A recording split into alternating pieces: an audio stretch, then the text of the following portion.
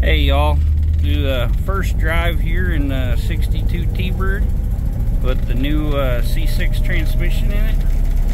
I gotta buy a shift down cable kit because uh, it's not uh, shifting down like it should. There's uh,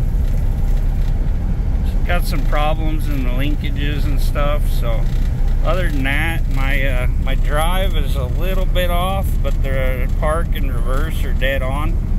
So probably just a little different spacing between the gears. Might do a little tweaking, see what we can do there, but seems to be running just fine. I was uh, just cruising along, you know, nice and smooth.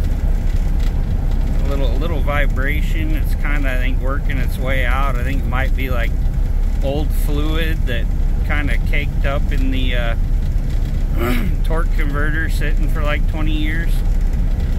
It'll it's starting to straighten out more, but we're gonna take you guys for a little little ride in the old bird here. I gotta hook up the speedometer cable also and see how if it's how far off it is, whatever. But so far, everything's looking pretty good. Besides the little bit of vibration, it's kind of working out might put some flush in it and then get all the old fluid and stuff out of there because I was getting some out the cooling lines didn't look so hot. But we'll get her get her done and uh, get her all figured out. But like I say she's uh, running and driving just fine.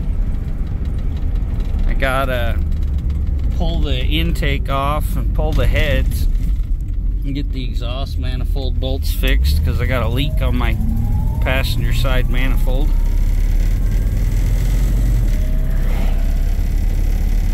she just shifted up there. but yeah, I was I've had her up to about 80 mile an hour and she was cruising along just fine, so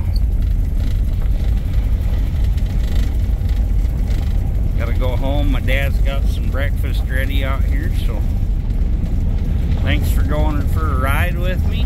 If you haven't already, please like, comment, subscribe. We'll catch you on the next one.